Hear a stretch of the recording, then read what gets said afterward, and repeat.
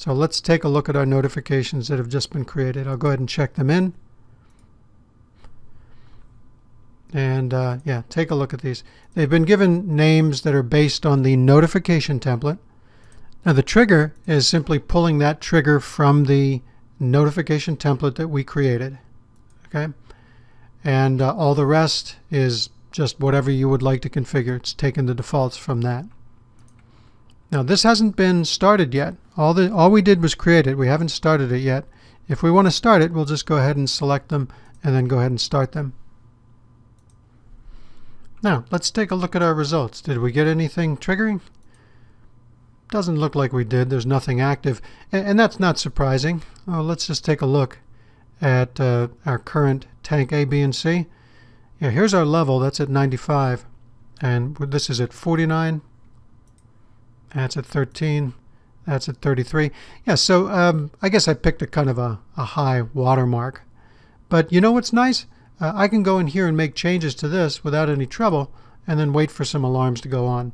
So remember, those are, you know, the, the template that we build these on, and let me put this at a nice low number. The template that we build this on uh, is, uh, all we did was we enforced a default. But of course, these are individual elements. They're built off of a template, but I can still go in and modify those things based on their own behavior, based on what I need for that specific element. Now, this was a natural scheduled notification. So we're still not going to get, you know, if you look here, this is natural. That means we're not going to get another evaluation of this until one of these these levels change. So we may get one sometime soon. But anyway, we'll come back in a few minutes and see if we've got any history.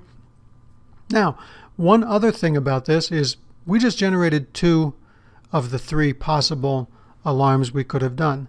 Uh, what if I had wanted to create that last one now? Well, that's no problem. Just go into New, Notification, or Notification from Template, either one, or right click here, either one.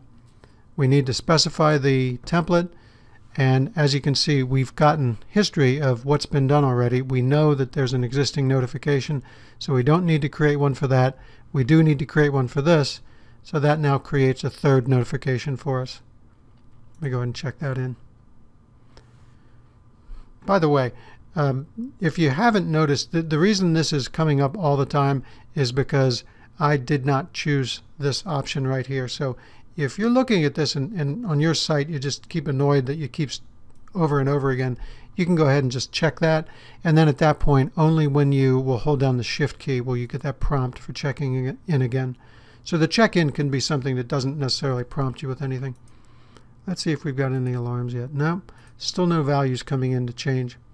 Oh, let me go ahead and start up this last one. Yeah, I just created that, but I didn't start it, so I'll go ahead and start that one up as well. Okay, there we go. It looks like one of our uh, notifications has fired at this point, so it got a new value. These other two have not fired yet, but that one I just created has fired.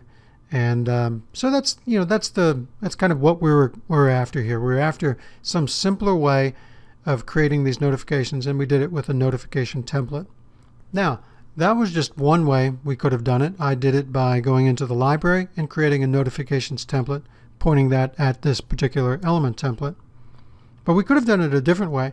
We could have had an existing notification, taken that existing notification and converted that into a, a notification template. Let me demonstrate. First thing I'm going to do is delete all these notifications.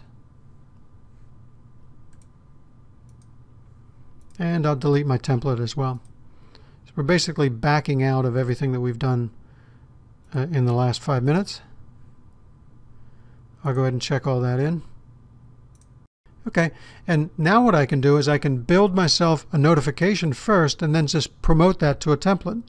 So how would I do that? Well, I would go into notifications, I would choose new notification, and like all notifications, we need to choose a trigger for that. So for the trigger, I'll go out and find one of these, you know, one of one of these uh, uh, tanks here. Okay, and I'll choose tank A. I'll choose tank A, and I'll just go ahead and add conditions. Uh, same the, the same way I did before. And this is going to be level greater than, and I had already added to the template. I didn't delete that one. I already added this attribute template here, level limit. So I'm saying if the level is greater than the level limit, that's a violation. So I'll go ahead and you know give this a name.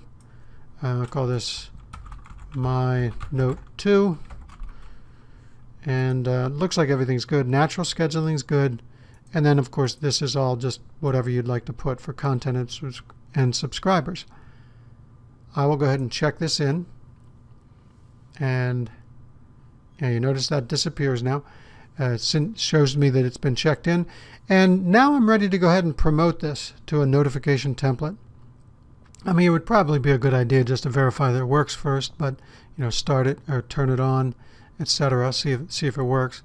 But once you've got a working notification, it's very simple to create a te template from that. Just do a right mouse click, choose Convert to Notification Template. And that is about it. If you notice this, we picked up the trigger from the template, the element template that was associated with the tank that that original notification was built on. And now all I need to do is give it a, uh, let me give it a, a name. Now I'm going to call this, let me call this NT, uh, what do we call this, level uh, note, uh, level high note, something like that.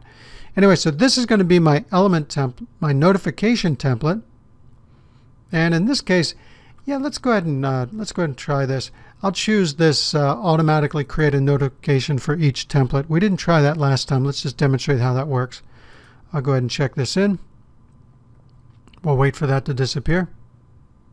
Okay, so now we've got a notification template. Like before, I can go out here. I can choose New Notification from Template. It's going to ask us what template do you want. We'll say this one. And again, it detects that we've already got one for there because it promoted that notification. It promoted the, the original to a template. So it recognizes that's already got. And we'll go ahead and say we'll go with B and C, add those.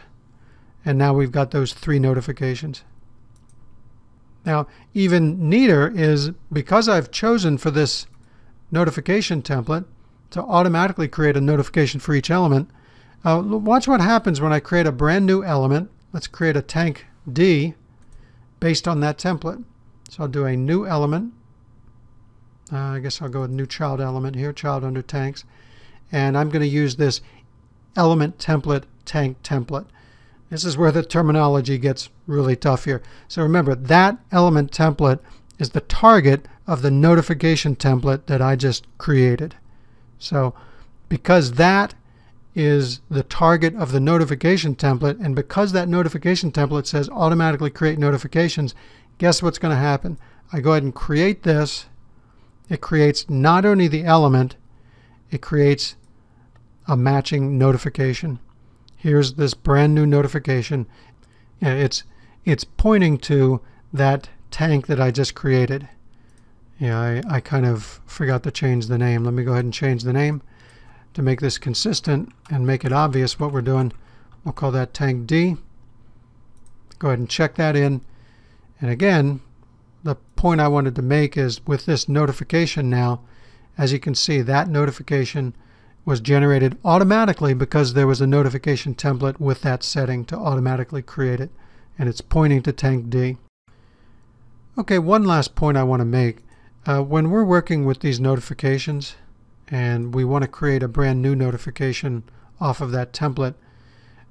As, as we saw earlier, um, if you've only got two or three, this is not a problem. If you've got 250 and some of them have been created and some of them haven't, we've got this handy little things thing here, this little widget that will create or that will select just those things that have um, have not had a notification created yet. So that's just one minor point to make.